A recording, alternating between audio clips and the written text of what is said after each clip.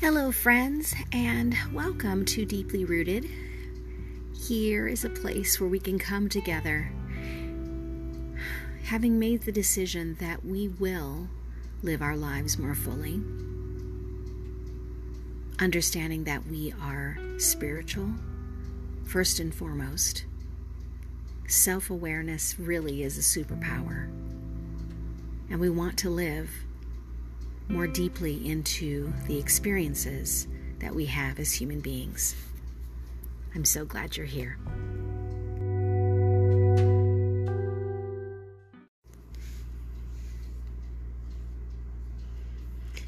There's something about the order of things. Audrey Hepburn said this Pick the day, enjoy it, to the hilt. The day as it comes, people as they come. The past, I think, has helped me appreciate the present, and I don't want to spoil any of it by fretting about the future. Think about this for today. Pick a day to take on this type of assignment perhaps even today. Operation Joy. No matter how much you think this might not open your capacity to see more joy in your life, try it.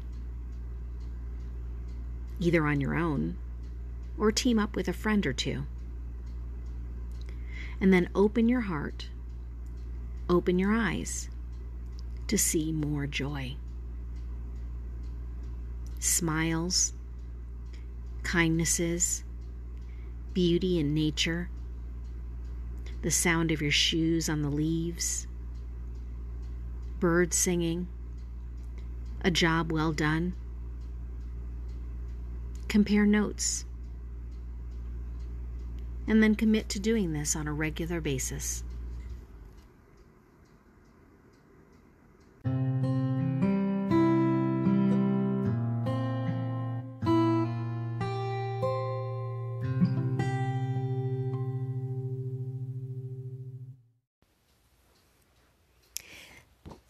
So, um, this ad is sponsored by Anchor. If you haven't heard about Anchor, it's the easiest way to make a podcast. Let me explain. It's free. There's creation tools that allow you to record and edit your podcast right from your phone or computer. Anchor will distribute your podcast for you so it can be heard on Spotify, Apple Podcast, and many more. You can make money from your podcast with no minimum listenership. It's everything you need to make a podcast in one place. Download the free Anchor app or go to anchor.fm to get started.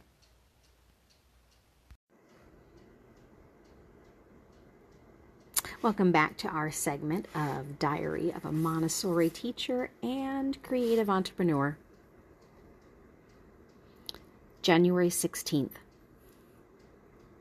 Very creative day. I finished all my assignments for the creative business planning course I signed up for, created three new dolls, and photographed, and felt super connected to each one. Inspired by Luna, our beautiful rabbit who feels like a friend and protector, by Beatrix Potter, and Knuffle Bunny.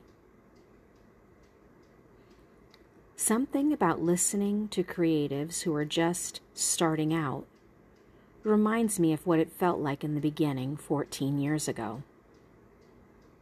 How it started as a way to make me feel less anxious when my husband was deployed, and I was home with a two year old and no family support. And then, when we moved to Europe, and then two moves to Colorado, and one move to Virginia right when my business had just started off. Creativity has been purposeful in helping me track my life.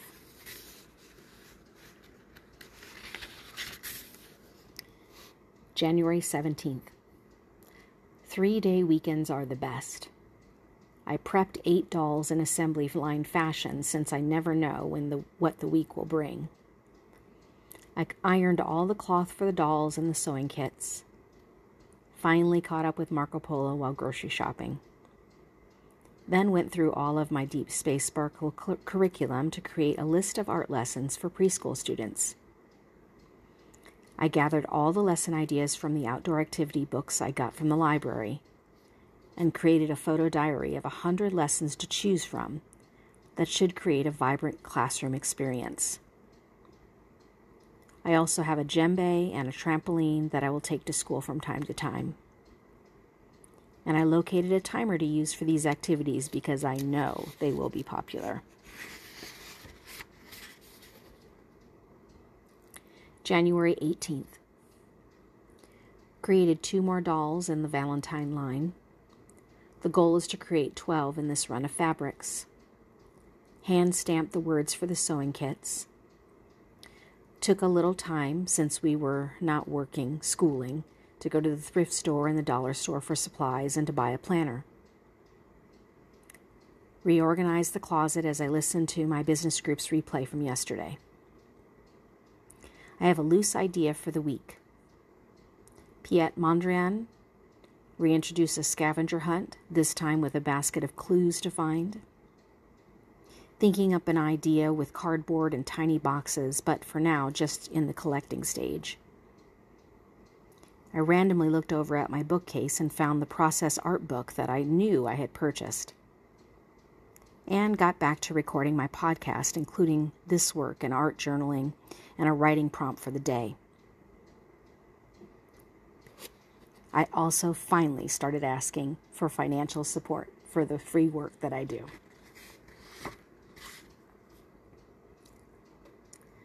January 19th.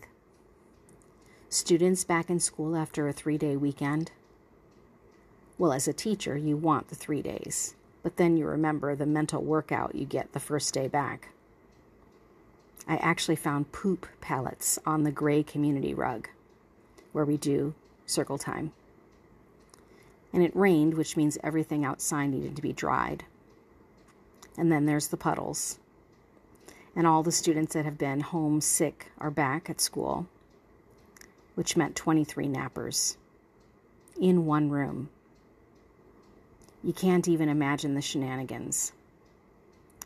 The art project on Mondrian went well. Today's artist is Kandinsky and Circles. And I have a Chinese New Year project that I want to try. I completed the descriptions of the six dolls created for Valentine's Day, and I hand dyed the papers for February's art journal kit. No practice for Hunchback yesterday, so Josie had a lesson with her voice coach, and we contacted a realtor about buying a house.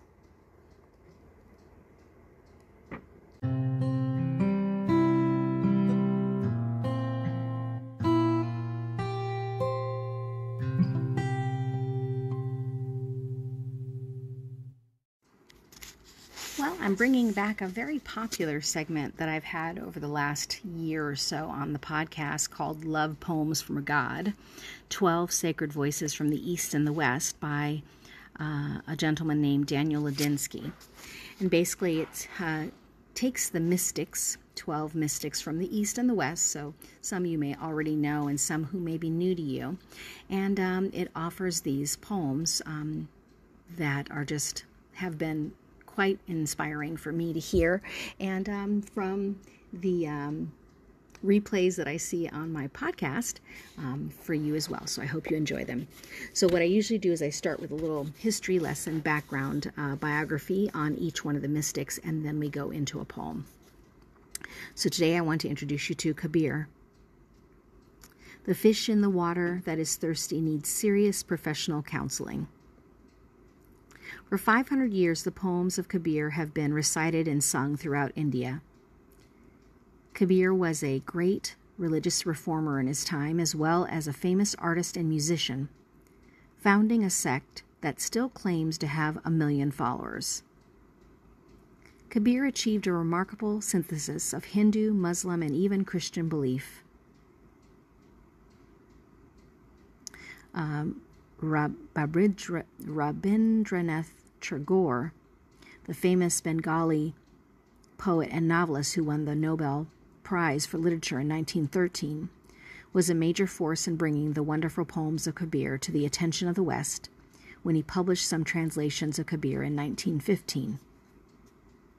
Some present day readers of Kabir liken him to something of a tough guy, a Zen bruiser, a divine smart aleck.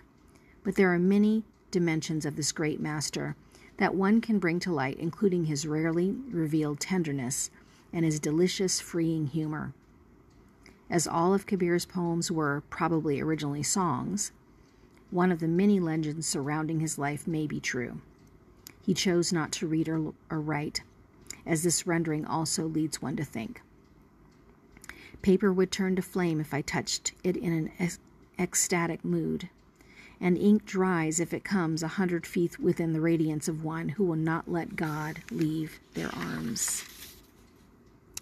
Why trouble a pen to labor? I've got naked angels camping on my floors with nothing more to do than imprint my words upon the sky when I sing them. Having mentioned the fate of paper when I am in love, and I am always in love, how could a son like me ever appear dressed? Sounds like an interesting mystery that can help the bored pass some time. Kabir was born in Varanasi in North India into a family of weavers who had recently converted to Islam, though it is widely believed that he was a disciple of a famous Hindu guru, uh, Ramanandu. Ramananda. While a family man and a weaver, Kabir passionately sought to show the way out of delusion, including the delusion of religious identity. During his lifetime, both mainstream and Hindus Hindus and Muslims denounced him, only coming to claim and revere him as their own after his death. Kabir was well aware of the misunderstanding of the public toward a true mystic. This is reflected in the unique irony that pervades his poetry. Even so, there can be discovered a remarkable compassion and tenderness in his verse, as portrayed in No Harm Done. Kabir's life both exemplifies and parallels all the saints in this book, as well as any living master. That is, saints will usually create or allow controversy about themselves that then serves as a kind of watchdog to keep the world at an arm's distance. The people who can get close to such a saint have to go through an ego dying process. It is a paradoxical spiritual truth. The closer a teacher is to God, the harder they, they are to have faith in and to live around. While the less advanced the teacher is, the more they can be easily accepted by the average person. Kabir, even when he had many wealthy followers, chose to live in a very small rundown house in a rough section of town where people were afraid to venture at night. It was the same area where the butchers had their shops, where the dying shrieks of animals confronted all ears, and where the stench of slaughtered animals could become unbearable in the summer months. The circumstances Kabir lived in were usually challenging to some of his Hindu disciples, who were strict vegetarians.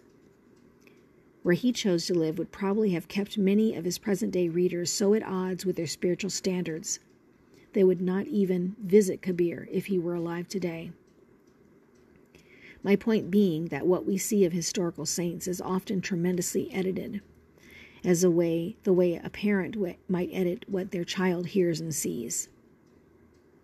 Christianity as a whole at times strikes me as a remar- remarkably edited view of God, as do the beliefs of any religion that promotes any kind of division between the soul and the creation. But how wonderful such views exist to help the spiritually young grow. The problem, though, becomes we begin to want God on our terms, not His. And our conditional terms will probably always keep us separate from the one we say we love and the one we need to unite with. What an irony. With so much religious propaganda playing havoc with us, when I felt it was legitimate, I tried to fill in some of the blanks.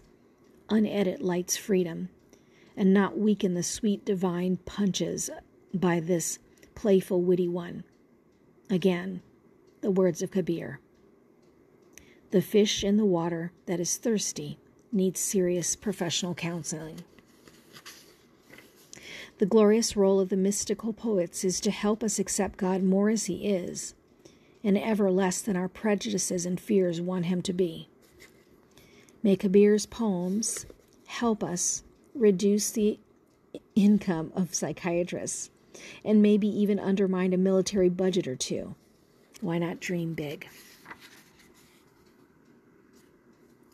Here's a poem for you. It's called I Just Laugh. If I told you the truth about God, you might think I was an idiot. If I lied to you about the beautiful one, you might parade me through the streets shouting, This guy is a genius. This world has its pants on backwards. Most carry their, vol- their values and knowledge in a jug that has a big hole in it.